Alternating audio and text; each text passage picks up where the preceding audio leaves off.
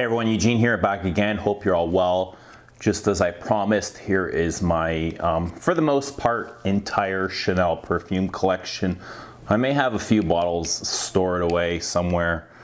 Um, I, I notice I'm not seeing my red limited edition number five, and I have a couple of collectibles that I didn't bother digging up, but for the past two Christmases, I shared my Guerlain perfume collection video and since that last one I've only added about two pieces. So I thought for this holiday season I'm gonna instead uh, share with you my Chanel's um, which are two of my uh, favorite brands. You know throw in a couple of other brands. It's it's pretty much all that I'm interested in um, but for the most part, you know, well before I was familiar with Guerlain in my journey, Chanel was uh, the first house that I kind of got into. And it was just because of, you know, I live in a small town and they were accessible to me without traveling out very far.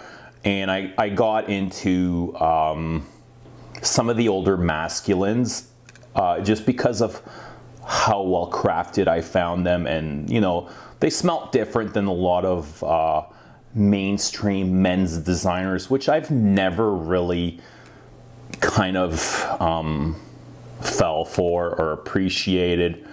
Um, I just really found them bland and boring and and um, they all kind of smelled the same to me. So at the time, a lot of uh, the older Chanel's, like the Pour Monsieurs and uh, um, I think even Antaeus were available in, in drugstores and and stuff like that. I believe even uh, 19 was available at the drugstore for for a while before Chanel pulled them out. Um, I remember getting into the allures, you know, the sports and and uh, for the men, the allure sports and the blues and the blues kept me interested for a little while until I, I was looking for something with a little bit more depth. But um, as far as the allures, I think they're probably some of the worst things that Chanel has on their or their counter nowadays. And even even as a collector, I, I just kind of sold them off. I wasn't interested in um, hanging on to them for whatever reason. Uh, I know they get a lot of hype and attention from young uh, men, but they just don't do anything for me. I'm way more interested in uh, the older masculines, even the, the modern feminines. Um, just interests me a whole lot more. So that's kind of how I got into into Chanel. Um, and then I kind of discovered the exclusives, which I think are amazing. Like to me, they're phenomenal. I actually think they're one of you know, not only one of the best uh, designer exclusive ranges, I think they're one of the best ranges in all of perfume. Um, and that's just my opinion. That's just what I enjoy the most from everything that I've tried. Um, so by you know by that I mean kind of uh, their sophistication, their quality, um, the, the materials that they use in their perfumes all seem to be like of the highest quality. Um, I don't find them very mainstream at all. I don't find the brand uh, trend setting or actually, sorry, I do find them, you know, uh, trend setting. I don't find them to follow trends. Uh, maybe a little bit more in the last last few years. Um, but for the most part, I wouldn't say they're followers of the trend. Like the blue line kind of started the whole blue trend. Um, maybe with Gabrielle a little bit, I can see them following this fruity floral thing going on. But for the most part, I think they are unique and they're they're excellent pieces. Um, you know, especially if you go back the past 20 years. Everything prior to that was really, really great stuff. Um, the men's and the women's. So the blues don't really interest me. We'll start with the men's here. I got to start somewhere. So, you know, the blues don't interest me, but they are pretty much what got me into perfume to start with. Uh, I was just handed a, a, blotter at the department store with blue on it and it didn't draw me at all. I thought it was actually really horrible. And I knew nothing about perfume at the time. And I just kept smelling, uh, I had a little bit on my hand and I had a blotter and I just kept smelling my hand the whole day. And it, it, it, disturbed me kind of to the point where I had to Google Bleu de Chanel, like, what is this?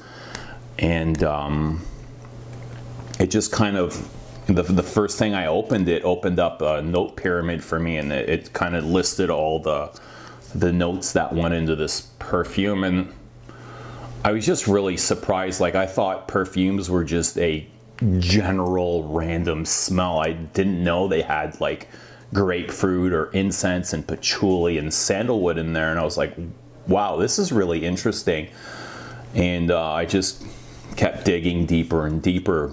And um, eventually I kind of grew to like it, but it wasn't very long before I was just looking for, you know, the next better thing, which ended up, you know, being a cycle and going over and over and over, always looking for the next better thing. Um, yeah, so then I kind of discovered the Pour Monsieurs, which I loved, like both um, the EDT and the EDP, which are very classic, very masculine, very clean. They are somewhat dated. I find the EDT is, is somewhat a little bit more dated. Um, kind of a barber shoppy thing with the spices and the citrus and oak moss, you know, not I, I can't imagine a young person wanting to smell like these, but they are classic and they are sophisticated. And that's kind of what I like about them.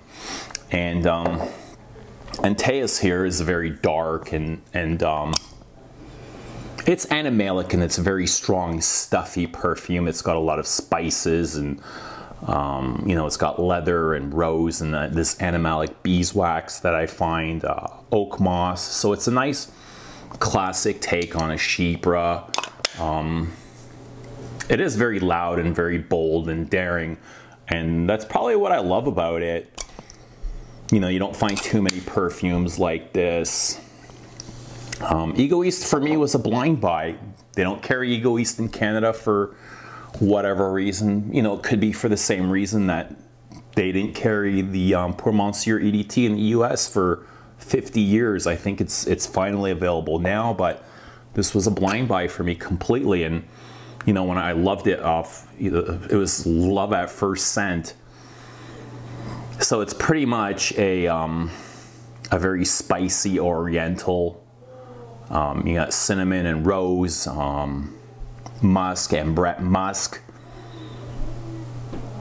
Uh, you got some vanilla in the dry down, some sandalwood, very creamy, very masculine as well. Also, you know, somewhat outdated. So you can kind of see this theme with Chanel's masculines and how over the decades they kind of perceive masculinity and it's every every generation they just kind of get you know softer and softer you're going from classic Pour Monsieur to very loud and heavy Antaeus and um, Egoiste to very clean and very safe Allure Homme and Bleu de Chanel. So it just kind of reminds me of, these two kind of remind me of the modern metrosexual man, uh, very clean, um, you know, I can kind of relate it to skinny jeans and shaved bodies, no body hair, where these are very masculine and would be more of a Tom Selleck, whereas this would be more like a Cristiano Ronaldo wearing this. So you can see times have definitely changed um, from classic perfumery to modern stuff.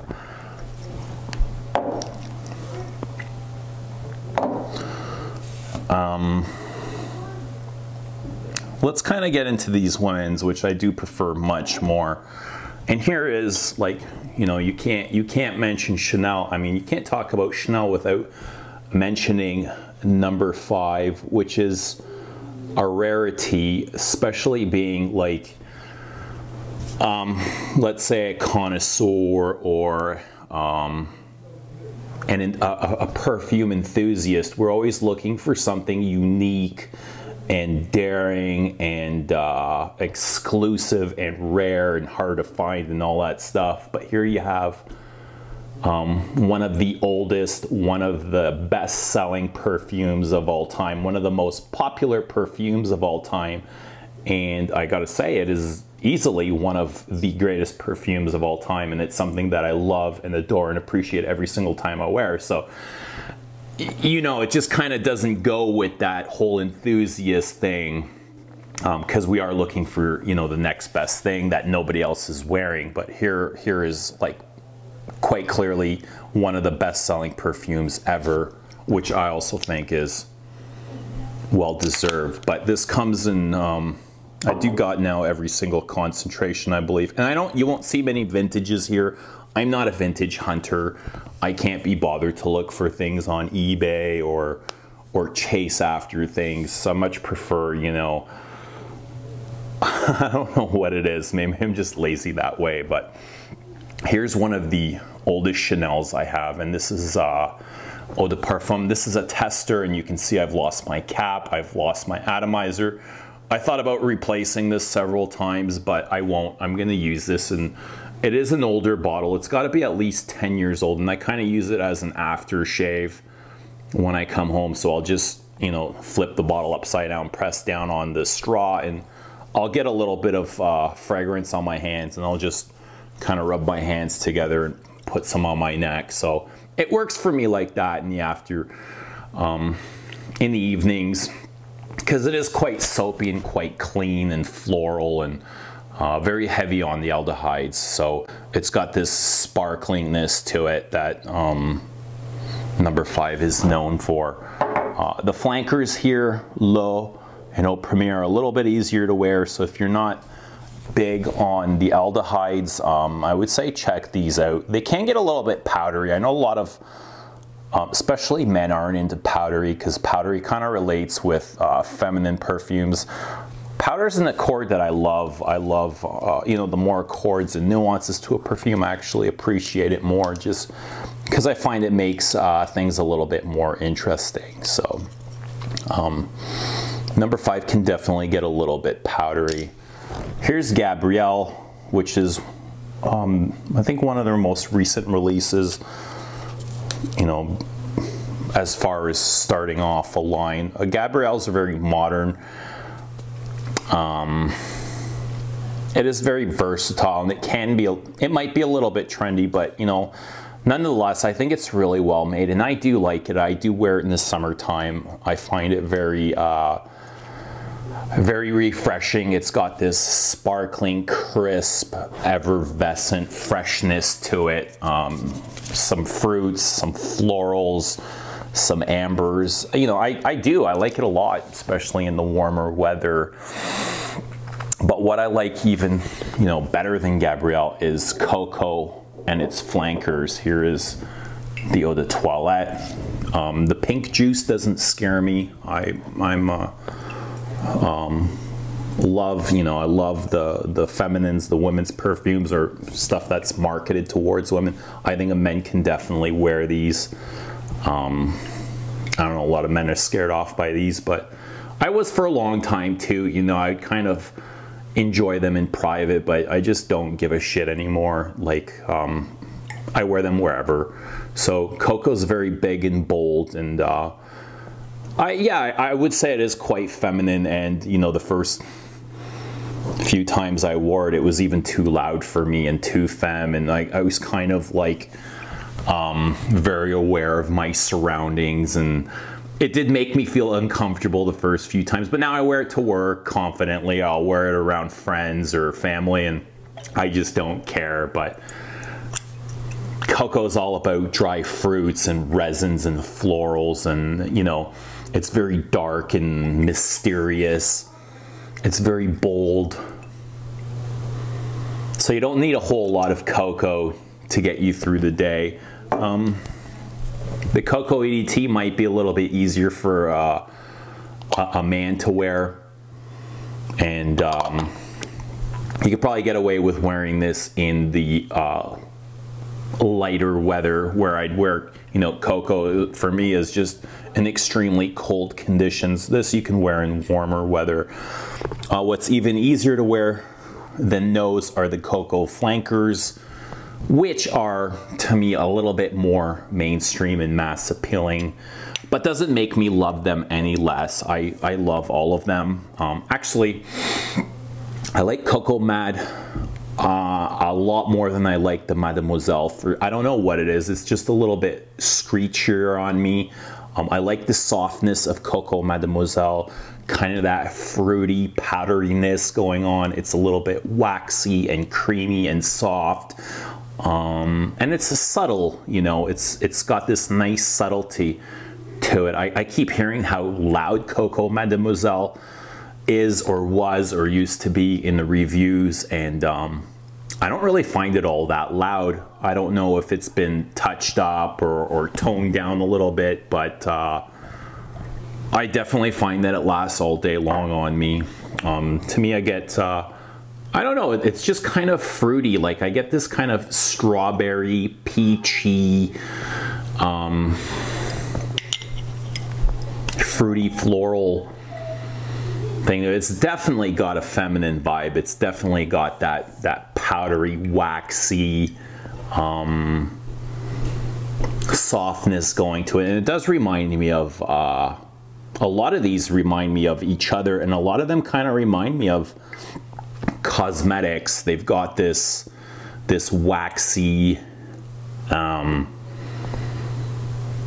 makeup bag to them. This this makeup vibe to them and I love that. It's one of my favorite nuances in all of perfume.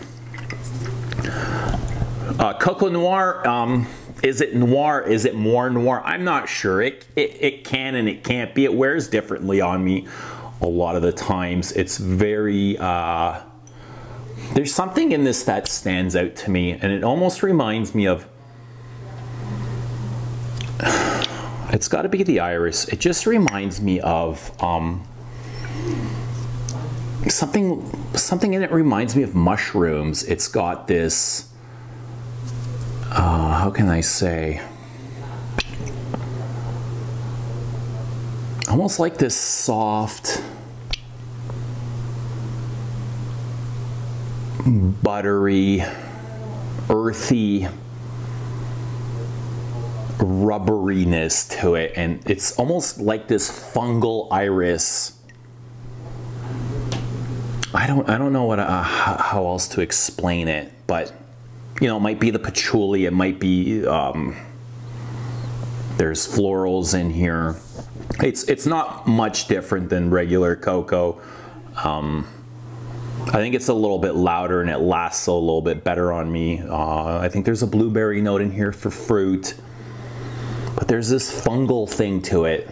I mean, it doesn't smell like fungus. It kind of, it's more of a feeling than, than um, an actual, like a fungal rotting something. It's just uh, this rubberiness that I actually find in some of the other um, exclusives. I kind of see it in, in 31 Rue Cambon, this fungal quality to it. If it comes to me, I'll, I'll bring it up. Here's the, the latest um, let's get into the, actually, we'll get into these older ones. Here I got a couple others. I've got um, 19, this is Poudre, which is a gorgeous, you know, nobody does uh, green and, and earthy like, like some of these older Chanel's. Green, earthy, floral, citrus, um, vetiver, like spices. So poudre is obviously a little bit powdery. I think it, it kind of highlights the iris and the vetiver note. They may or may not be oak moss in this one. I know there is in the others. There's definitely oak moss in the Cristalle. Um, Cristalle Eau Verte focuses more on a fresher Cristalle. Um, specifically the, you know, it's got lemon. It's a very fresh, almost uh, cologne perfume. Just absolutely gorgeous. Number 19, the classic 19, focusing on iris and again, um, the greener notes, galbanum, um, It's got a really nice freshness to it.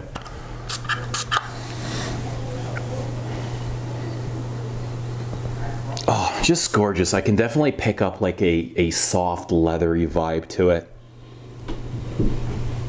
Just a, a classic, you know, a lot of these are classics and, and we can only thank for Chanel for hanging on to these and not selling out to um, a bigger draw, you know, things that are more easily marketed or mass appealing. You know, because I don't think they sell a whole lot of these because I, I, I, came in one time and I asked for something and I was like, do you have um, number 19 and Eau de Parfum and 100 mil? And they're like, you know what, we don't know because nobody ever asks for these. Nobody ever buys them. It's more the modern stuff. So it's actually nice to hear this or to know what's going on and what sells and and what doesn't. Uh, Cristalle to me is absolutely gorgeous. I love Cristalle, which is a very strange scent, but it might be outdated to some. I mean, if, if you've smelt a lot of things, it, will it'll make sense to you, and it is absolutely gorgeous. Uh, marketed towards women, I think a man can easily wear this. It's a lot of citrus, um, green, rootiness, vetivers, spices, uh, florals. So you can definitely see, you know, the, the, the women's have a lot of the same themes going on. It's, it's that Chanel DNA. Um, fruits, florals, creamy sandalwoods, and they're just kind of made in different proportions, different concentrations. Um, you'll see a lot of similarities uh, running throughout these so this is kind of like the newest line. This is the uh, Les Eaux line, which uh, came out in three. So two of them are uh, available here in Canada. The third one is not Paris Deauville. Here we've got Paris Venise and Paris Biarritz. Biarritz is, uh, it, it, seems to me like a, a take on the classic eau de cologne, very fresh, um, very sophisticated, you know, um, made for the warmer weather. Very elegant, very citrusy, very um, fizzy, just refreshing, very refreshing. It's probably got that Neroli lemon, verbena, bergamot theme going on, some spices. Um, Biarritz, or this, sorry, Venice. I think I pref prefer Venice over the two of them. I haven't really, I just got these. I haven't been able to wear them out yet properly, but this is way more waxy and powdery. Um, it's also a little bit rubbery and I find a little bit more sophisticated than um, Biarritz.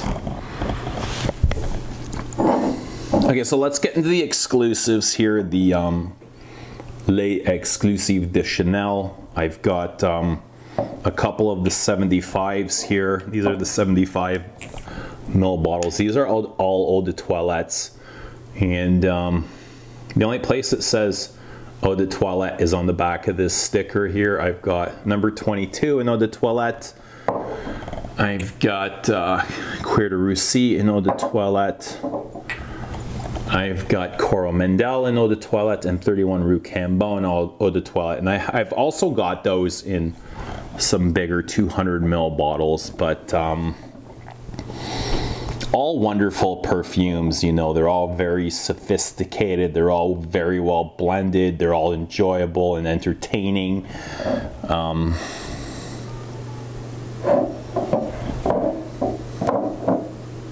very traditional, you know, number 22 to me, it, it reminds me a lot of um, number five. It, it, reminds me somewhat of Bois des Iles, you know. I've got Bois des Iles in, in, in um, Eau de Toilette. There's a, the Eau de Toilette. I've got it in the Eau de Parfum as well. Somewhere here we'll get to it, but I've got both and I, I enjoy both. You know, uh, a lot has been said about the reconcentrations of the Les exclusifs. I think a lot it's um, there's being a, a, a, bigger deal made out of them than there needs to be. I think um, for the most part, um, for the most part, you know, the EDTs were a little bit better, but I don't think that's the case for all of them. I actually find um, I do prefer the EDP version for some of them, and that's especially for the lighter ones like uh, number 18, Jersey, um, there's a few other, I think Bel Respiro I kind of prefer in the Eau de Parfum just because I'm getting better performance uh, from them. And, you know, performance may be an issue for some people. Uh, always complaining about performance, not being able to smell themselves or longevity.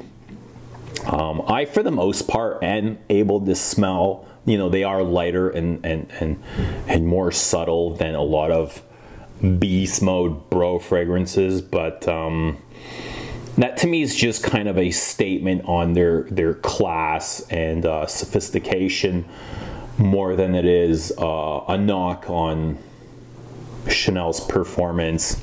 Because you know they definitely perform. They're just a little bit lighter and um, more sophisticated you know.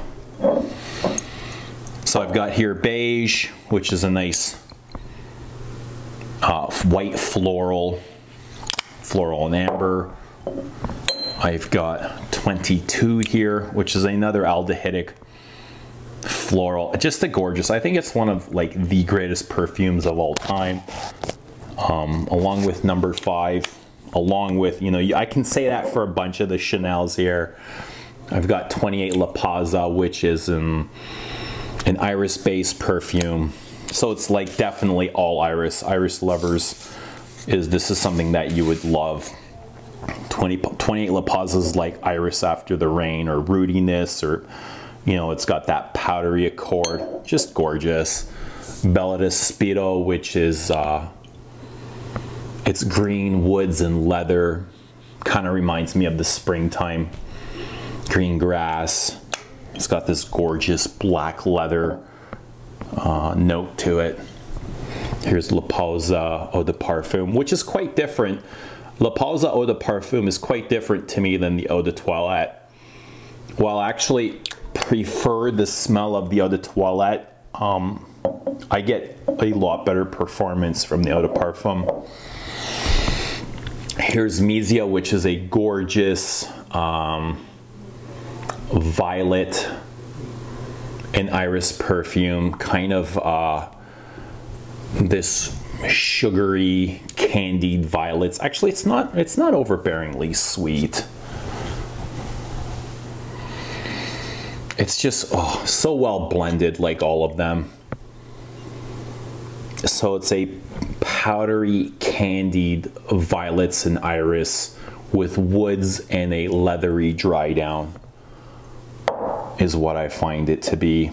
Kind of um, the inspiration for this was the ballet. It's just kind of the way a ballerina would smell before her recital, you know, with her makeup and whatever it is a ballerina is supposed to smell like. Jersey, which is a kind of a simple lavender perfume. It's not the most complex, but it is very gorgeous. Um, so Jersey's kind of this texture that was favored by Coco, and that's kind of what they try to replicate is um, not only the smell of lavender but also uh, the texture of this fabric which I find lavender is also it is quite um, it's it's dry and rough. And that's you know this isn't very rough but it's got this dryness to it. It's like lavender and licorice.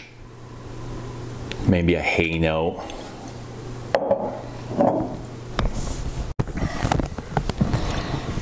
So my battery kind of died there, but okay, we're talking about number 18 and I was saying that this is one of my favorites and um, this is one that didn't work for me in EDT.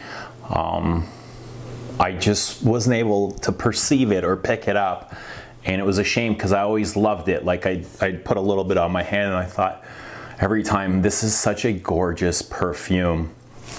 You can see there the juice, the, the, the liquid is white. I can't remember, I'm not quite sure if it was white in eau de toilette, but this is one of my favorites. I love number 18. I think it's a, a brilliant perfume and I got a lot of rose from this, which is weird considering um,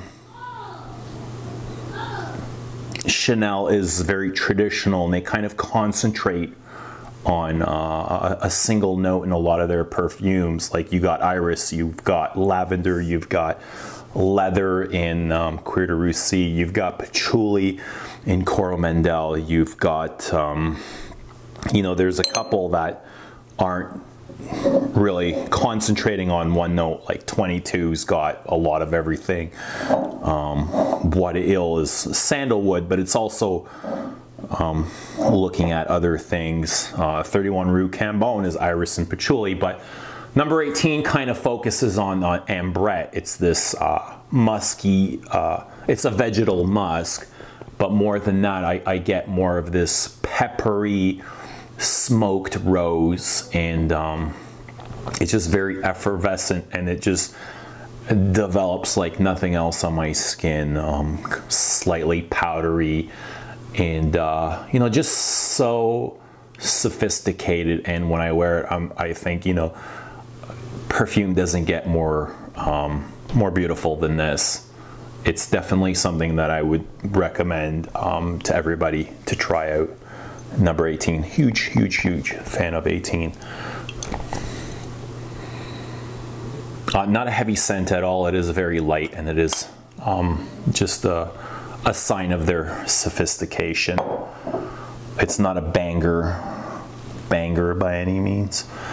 Um, d'Ile, again about that sandalwood, but it's so much more than sandalwood. It's uh, florals and aldehydes and you know, you've got your traditional um, Chanel aldehydes and and white florals and, and roses and jasmines. And again, this is another one that reminds me of five. So when I think five, when I wear five or 22 or Bois d'Ile, I just kind of think of the others for, for some reason. So if I'm wearing Bois d'Ile, I think of five and 22. And when I wear five, I think of 22 and Bois d'Ile because they all kind of have this similarity to them very cream, creamy, soft, warm, elegant. Boy is one of the newest. Um, I like Boy. I'm not, you know, it, it's not something that thrills me out of my pants, but, and it's not something that I'll wear out for the day to work or, or going out. It's more something that I find cozy and relaxing. So after a work day, I might come home and put on Boy. And I find that, you know, that theme kind of goes for a lot of these. Um, there are certain ones that, you know, I love and I feel like are must-haves for any Chanel collector um, that I do wear to work and I would, would wear going out. And then there's a few pieces that I find I don't want to wear to work. I'd, I'd rather just wear them when I come home and to relax and enjoy by myself.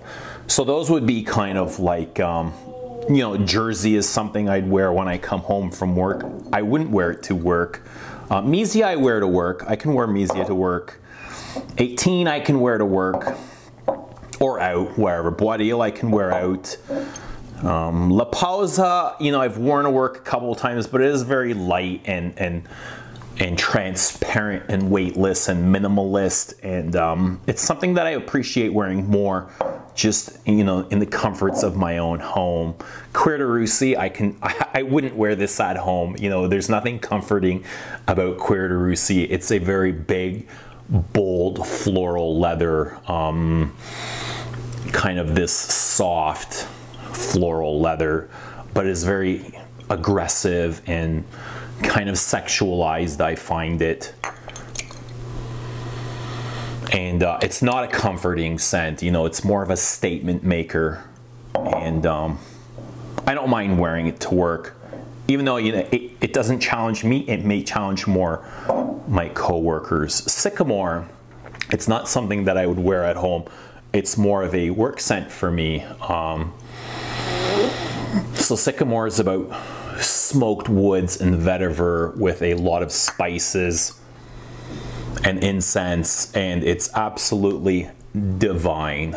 Um, this is the eau de parfum. I've had the eau de toilette, and for some reason, I don't know what it is, if it was my bottle, but it just didn't work for me, and I got rid of it, and I got the eau de parfum, which I do um, absolutely love.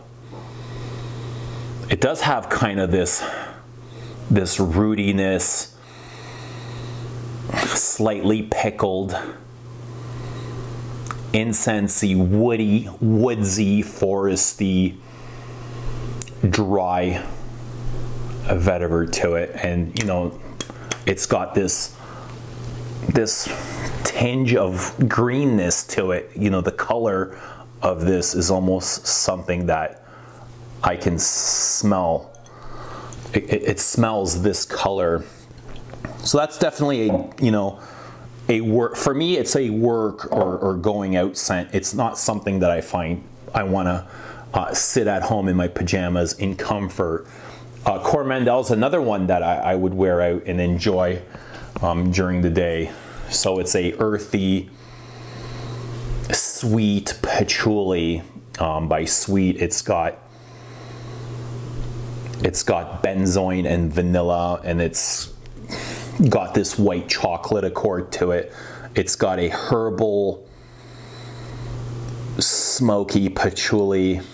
Um, I'd call this an oriental. It's definitely got, you know, the, the benzoin vanilla uh, aspect to it, which can get a, a, a, bit powdery, but it's absolutely gorgeous. Uh, wintertime fragrance, I would say.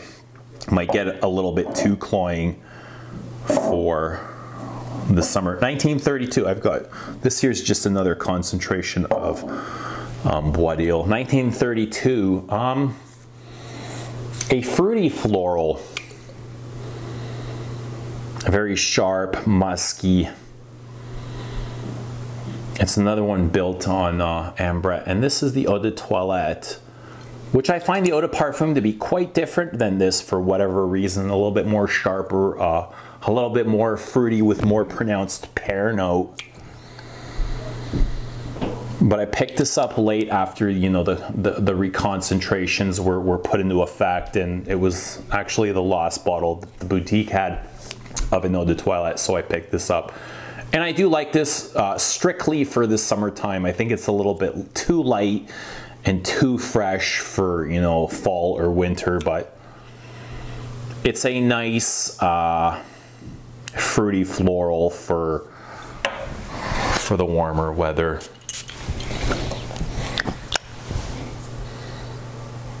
Oh, very peppery. It, it kind of reminds me of 31 Rue Cambon.